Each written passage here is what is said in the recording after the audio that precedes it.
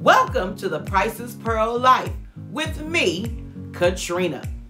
On my channel, you will find vlogs and shopping hauls. There's nothing like a great tablescape. And of course, there are home decor, home decor tips inside and outside of your beautiful home. I also offer cleaning and cooking motivation. Did I just say cooking motivation?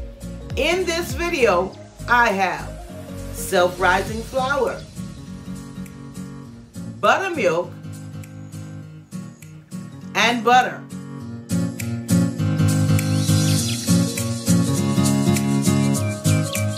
Thanks for stopping on today's video.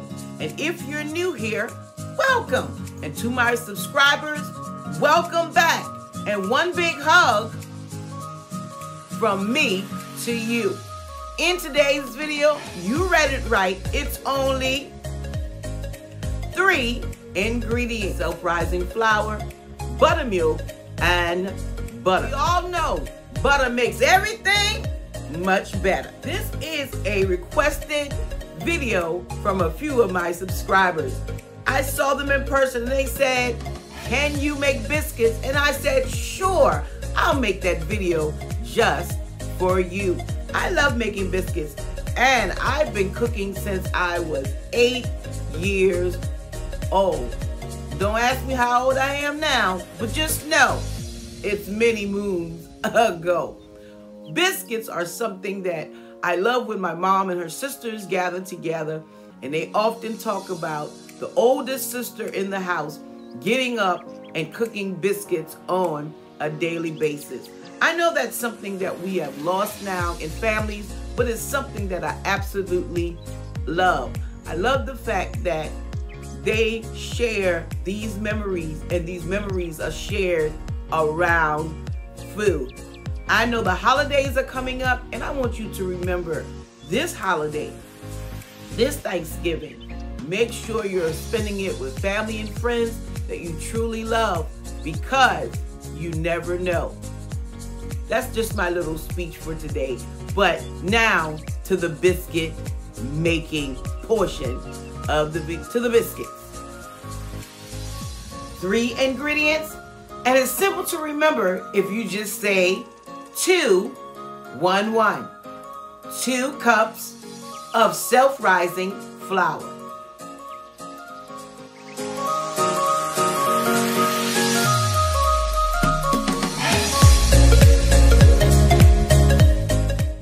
And one stick of butter.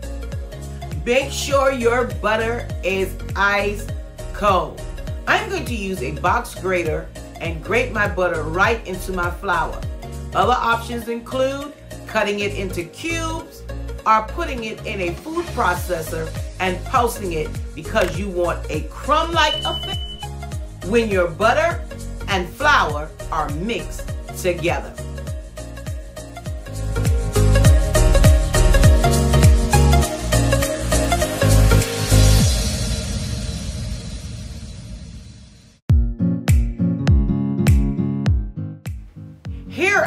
Using two forks to coat all of my butter with flour to get my crumb-like effect. The less I use my hands, the colder my butter will remain and the flakier my biscuits will become. You want to make what is called a well, which is a simple opening in the middle of your flour. Add your one cup of buttermilk. With a spatula, we're going to gently and softly incorporate our buttermilk with our flour and butter. Make sure not to over mix your dough. You don't want a dry biscuit.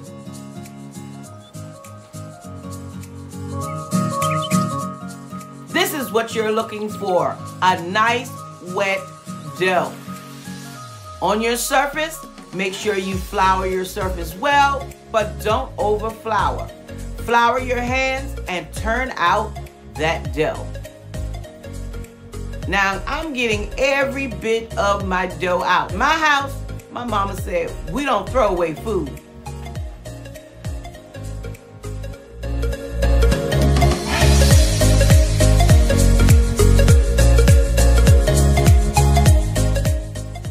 Now, ladies and gents, we're going to pat out, roll out, fold out this dough.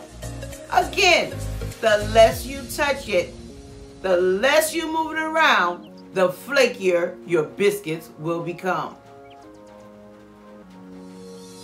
Now I rolled mine out. Video, ah, uh, well, we missed that footage, but here we go. Placing it in a buttered dish, 450 degrees for 10 to 14 minutes.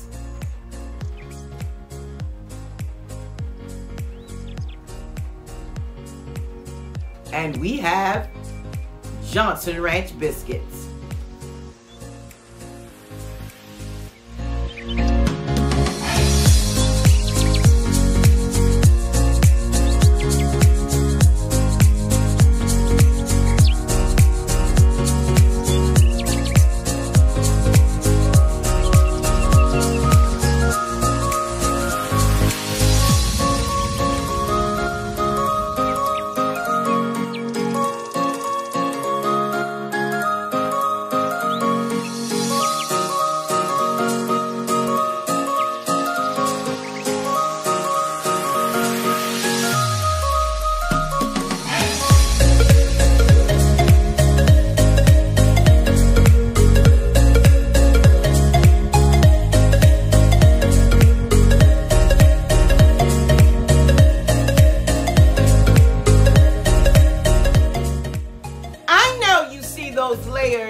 And where that pocket of butter exploded and it's about to melt in my mouth.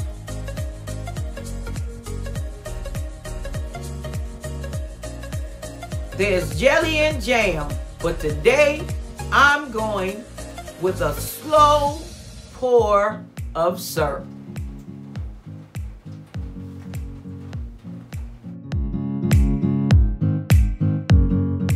Me a big thumbs up. Give me a like, give me a share, and give me a comment. Most of all, make sure you are subscribed to the Price's Pearl Life.